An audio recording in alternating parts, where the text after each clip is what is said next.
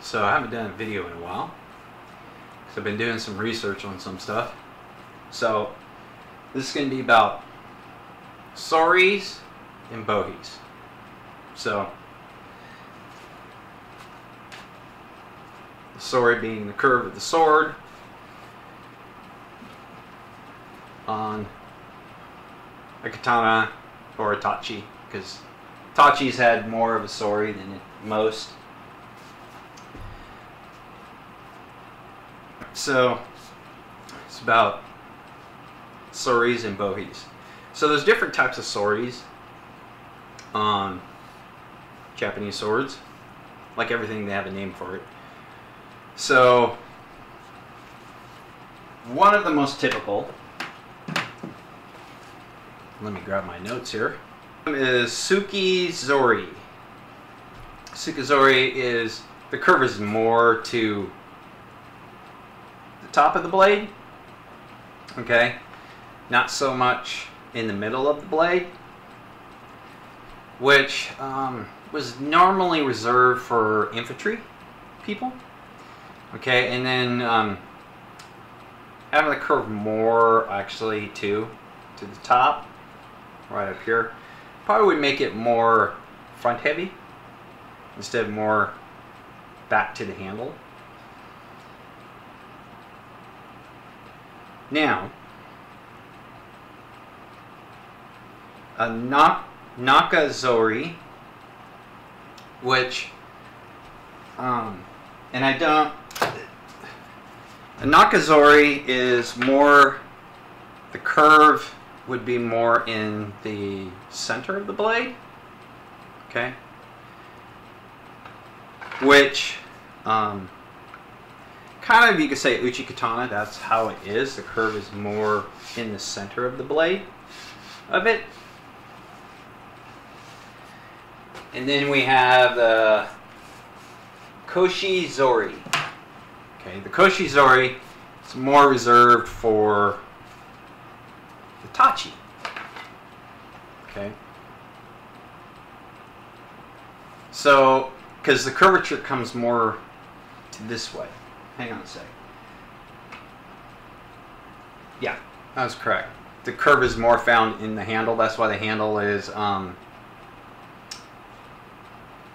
goes with the curve.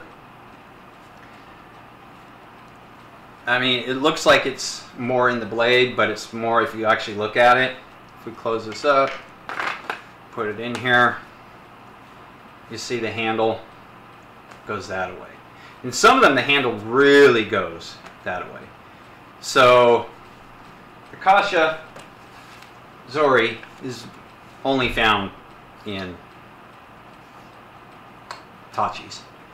So, and the most typical we see nowadays is the Suki. No, excuse me. The Nara Zori. Which is the typical Ushikatana. So the blade, this, the curve is more in the center. So creates more of a balanced blade for you, and the front isn't as heavy. So it's a little insight. Um, take a look at your swords. See how um, the blade geometry is. Like I said, the Kusha, I believe, is how it's pronounced. Um, is not done too often anymore, where the curve is more um, at the end of the blade. I really don't have anything like that. Let's see.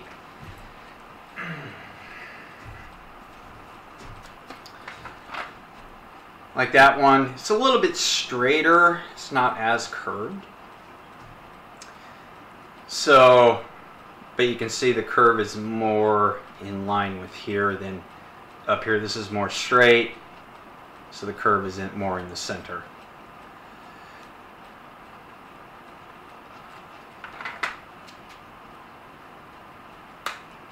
So those are actually the three types of curves to a Japanese sword. So we have,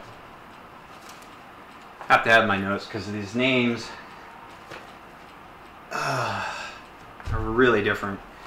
So you have the Koshi Zori, and then you have the Suki Zori, and then you have the Naka Zori.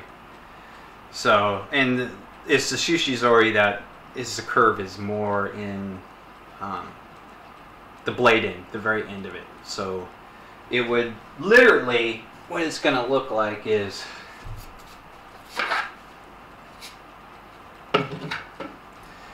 the blade would be mainly straight until it got right about center, right about in here. And then that curve, that curve would start off and go that way. Which you don't really see anymore. It's normally the Naga Zori, where the curve is in the center. And the reason why they did this is because of balance. Gives the sword more balance put the curve more to the center, especially if this curve is coming down to the handle a little bit because you can see it goes straight and then starts curving right in here and then it goes kind of straight. It's not totally straight but it kind of the curve is less so. Now the nice thing about um, putting a curve to it is it, some people says say the curve in the blade doesn't help you that much with the cut. I kind of disagree with that because if you take a straight edge sword and you take any type of sword that has a curvature to it and you cut with them, you will feel the difference in the cut for sure. Because when we cut, like so, we're creating an arch. Okay, naturally we're creating an arch. So if you have a straight object and you're creating a arch motion, you're going to have a little bit more resistance in your cut because it's swooping. But if you have something that is going in the direction of that motion, it's going to be less resistant. Not to mention the way it's, you know, the sword is designed for cutting power. So it's like this, my Tachi. Okay. This Tachi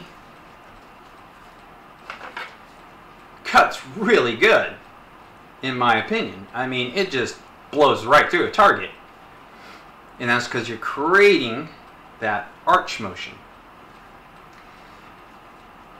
The other point of the arch is actually how actually adds strength.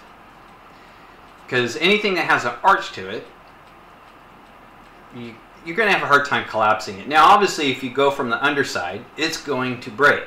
It's like if you take the St. Louis arch, for instance. If you put something extremely heavy on the very top of it, it's going to hold it up. It's not going to collapse. But if you hit the bottom of it, the underside of the arch, it's going to collapse. Okay, because that's the weakest point, is underneath it. This, the front of it, is the strongest point of it. It's just physics. That's why they use arches and bridges and everything else, because the top of the arch is the strongest point. The underside is the weakest. So that's why swords break. If you hit it good enough on the backside, it breaks because that's the weakest point. Alright, now granted, having a sword like this has advantages, has disadvantages. Okay? The one great advantage to having a curved sword is the cutting ability. Not only cutting ability, but if you have a shield, the sword can get around the shield because it has that curve. The more the curve, the more you can reach around a corner, which is an advantage. Disadvantage is a lot of times when you have a sword curved like this that much, you need more material to make it because when they get done making it and they put the uh, curvature in it, the sword shrinks. Okay. I know that sounds weird, but the sword shrinks down. Like, let's take I forget the measurement of the length of this. I believe it's 27 and a half is the length. Let's take this sword right here. I know that for a fact that this sword is 27 and a half inches long. Okay, the blade. So, it's got about 5 eighths, almost close to a 3 quarter curvature to it. So you take that decimal equivalent, let's say the decimal equivalent of 5 eighths, you add that length, you add that to the length of your blade. Okay? So now it's over 28 inches long. So, and I know that sounds weird, but it's true. Um, another example of a sword is this one. Right here. So this has got about a three quarter. Sori, not much. So add that to it. This is also about 27 and a half inch blade. You're coming about 28 and a quarter is actually the length of this blade if you were to straighten it out. Now this one, the Tachi, let's say it's 27 and a half, okay?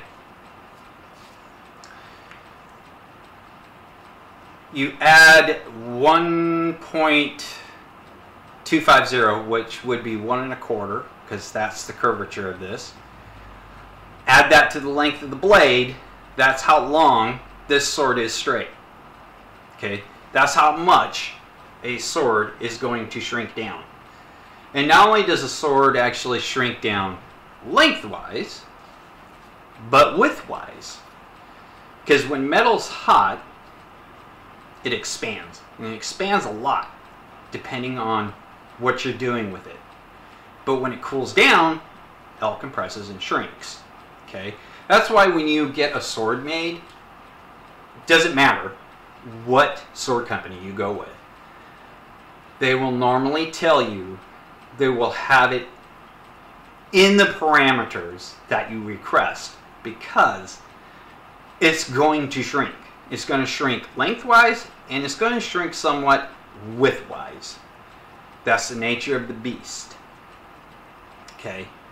It can't you're to get it 100% accurate you've basically had to have been doing this the majority of your life and know exactly down to the decimal how much material you need.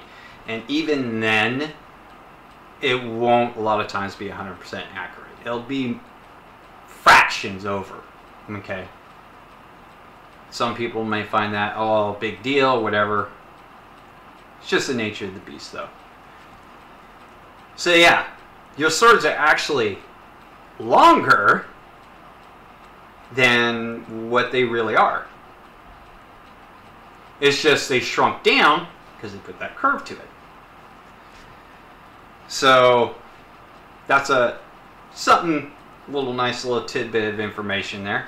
So whatever your sori is on your sword, just add that to the length of your blade, and that's how actually, roughly, it's not going to be 100% accurate, but roughly how long that blade actually is.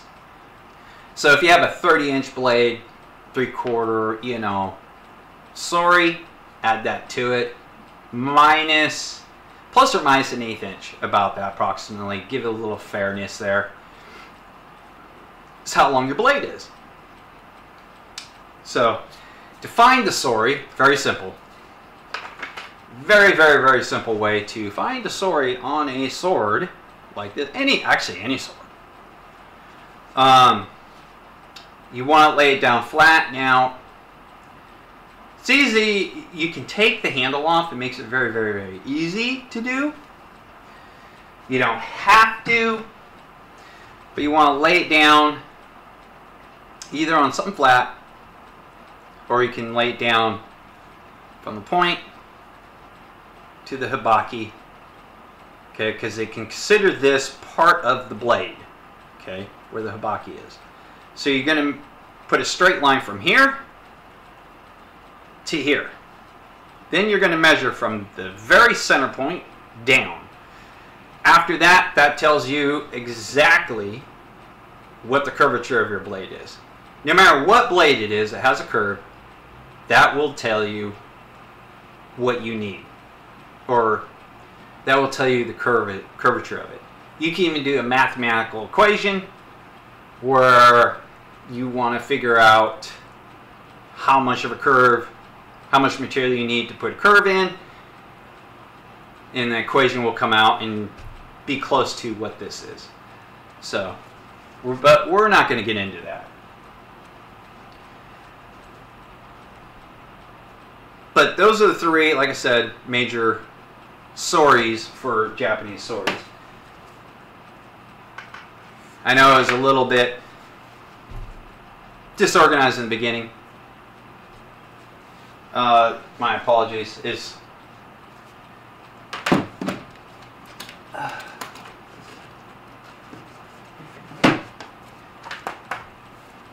So, but like I said, we have Suki Zori, and Naka, Naga, Naka Zori. Um, probably pronounced all those wrong. So, those are the, um, three, like I said, three basic soris for a Japanese sword. There's probably more. This is what I found. Now,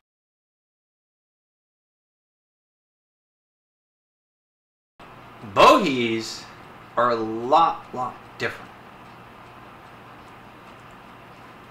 They actually, they do have names for all the bohis in different styles. Um, like double bohis. I think double bohis are really interesting.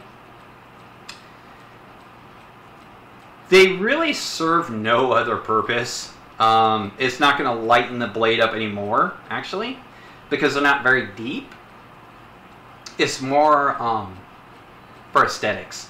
Looks is, is basically what the sori is for. Or, excuse me, the bohi is for. So, this one right here is called a to, Tomi. T O M E. Okay. Now, that one stops before the hibaki. Okay? So, what this is used for is Iaido. That's what Tomi is used for. Is Iaido. Iaido swords. I've heard, oh, it makes the sword stronger. Well, I don't see how that can be. Because it's just stopping before the hibaki. If you wanted a really strong blade, because bohi does take some integrity out of the blade. I wouldn't say a lot it takes out, because if it did, they probably wouldn't have done it because the swords are breaking so easily. So, yeah, I, I don't believe that one too much. But if you wanted a strong blade, then just don't put a bohi in it. I don't see how this stopping before the hibaki is going to make it stronger. Except for at this point. It, that doesn't make no sense, but yet you have a bohi the rest of your blade. So if your blade breaks, it's right here and you have a nub. This doesn't make any sense. It really doesn't. Now, I'm now taking the handles off of these because I have quite a bit of swords I have to go through on this. So, yeah.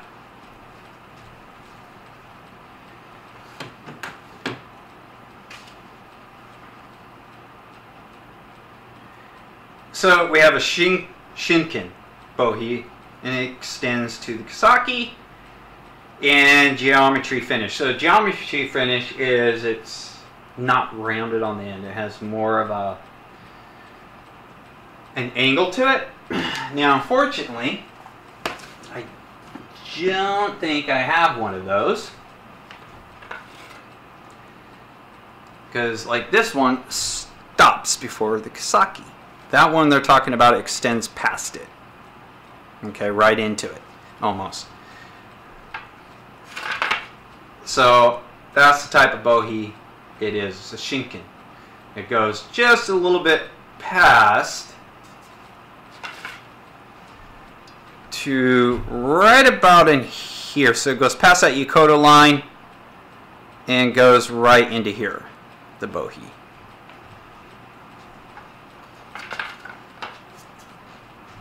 That's what it does. And then we got the double bohi. Now the double bohi, like I said, from what I found, like this one, has a geometric, let me see if I can't get that in focus, a geometric end. Okay, now I didn't, this is a custom job on my Otonto. I did not ask them to do a geometry end, but they did it anyways, which was nice. I could have asked for it. Um, but yeah, that's the double bohi. Double bohi, it's just aesthetic look is all it is. It's not going to lessen the blade anymore from what I found out.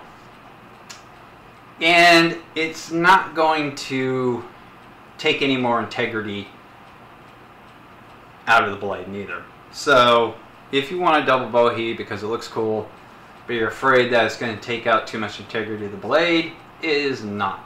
You're perfectly fine. Okay. I just think they look neat. To be honest. That's why I had it done. Okay.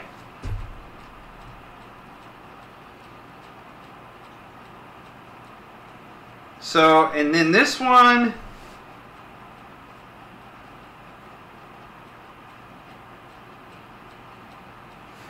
This one is a little different. I also don't have a sword like this. So, in the name, Ka King Naga Nagashi. Ka King Nagashi. Probably really slaughtering that, so I'm not even gonna freaking try. Okay, so what it is is the bohi actually goes halfway down the Nikago. Okay. This is another style that some swordsmiths smiths did. Is it make the bohi go down to about approximately halfway the Nikago and then up to and stop before the Yokota line.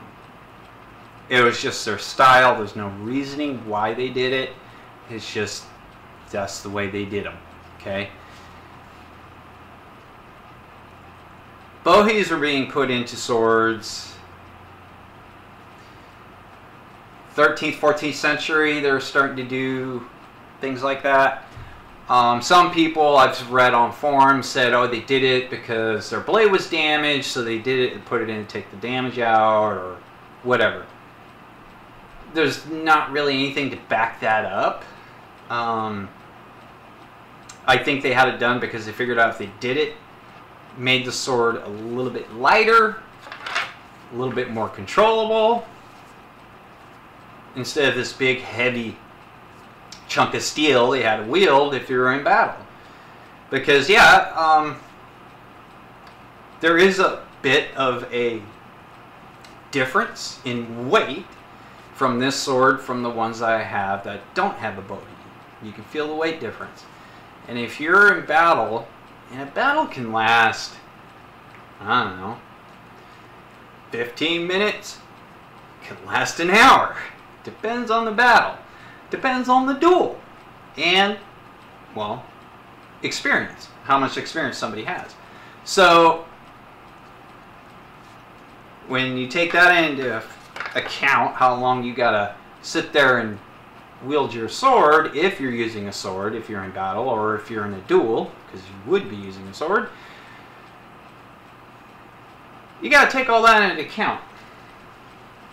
I don't think they did it because, oh, my sword's messed up. I'm just going to take it to a swordsmith and have them do it um, and put a bohi in it. That costed money. for them back then, and that means you're you were without your sword until they were done with it, and then they had to temper the whole thing again because blades already tempered. You put it in a fire, you just took all that tempering away. Now you have to retemper it. I don't see them doing that. I don't see it as a, a, a feasible explanation for the bohi. I think it's just they were trying to lighten their weapon more. Now there's other ones such as now this one I did not get the name of, I wish I did. For the Unukubi. Now the Unukubi you could say is a double bohi. Which in turn is true. It is a double bohi, but in a different form of a double for, uh, double bohi. And I thought I had written that one down.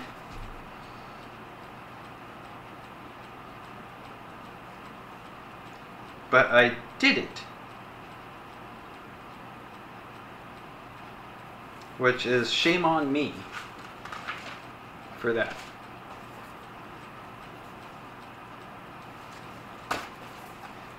But, like I was saying, it is a form of double bohi, but in a different style because on Unikubi, the secondary bohi is pretty shallow and gets shallower and shallower as it gets to the end, kind of. Now, from what I understand, the bohi on a Naginata is actually a different name than this one. Okay.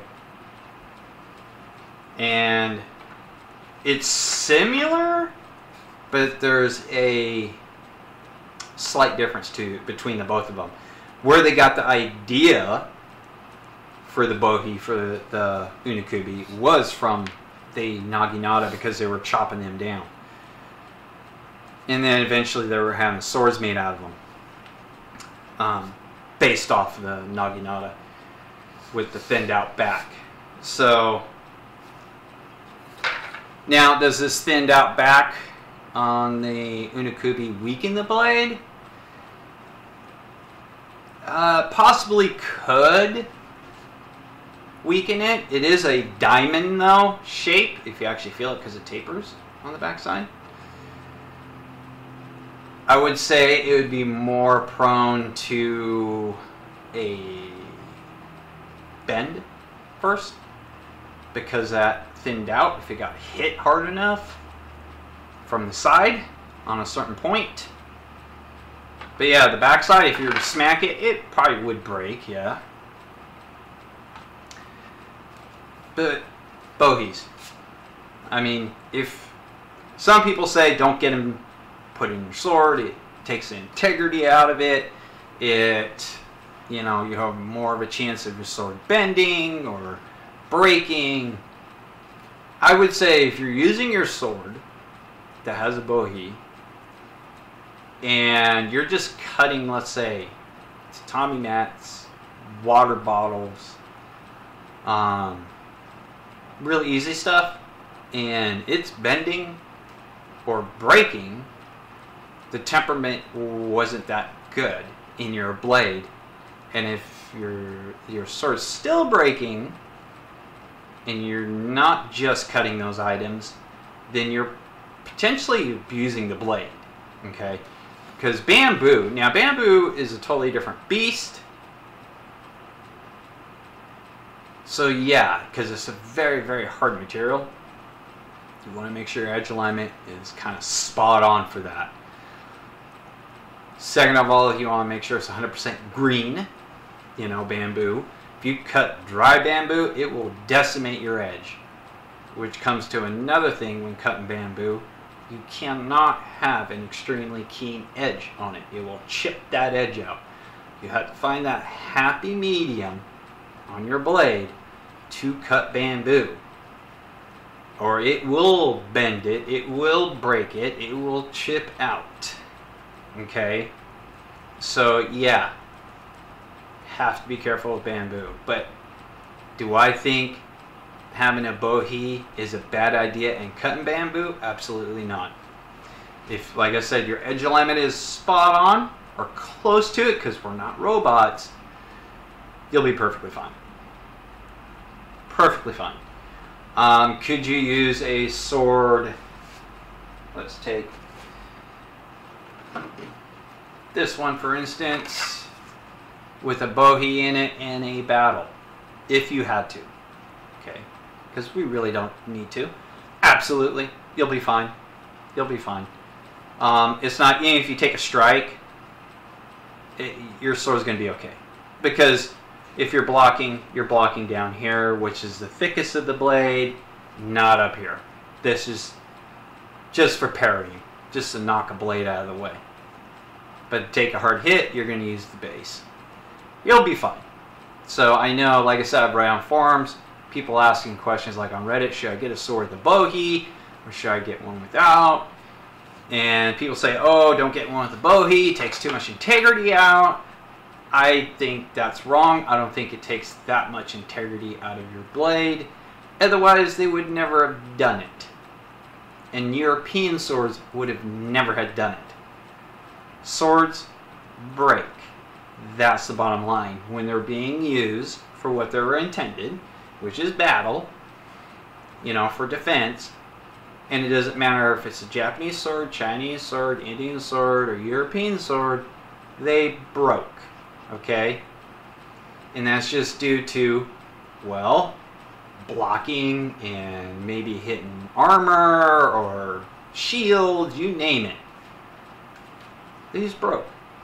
Plus, the quality of steel back then. It's not like it is today. It's way better today than it was back then. Okay, not saying that the quality of steel wasn't good. It was good for that time. Now it's way better. But that's pretty much the bohi, sori and bohi. You know, it's a quick rundown for it. But have fun with it. Measure your swords. You know, measure your sori.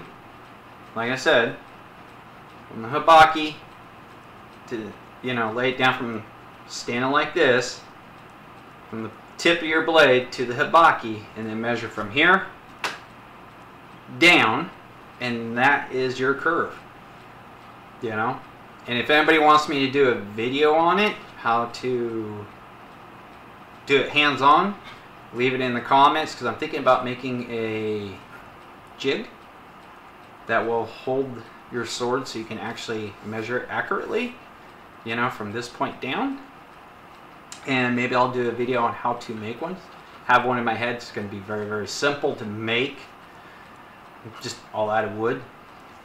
So, that's it. Let me know what you guys think at the bottom. And uh, we'll see you later.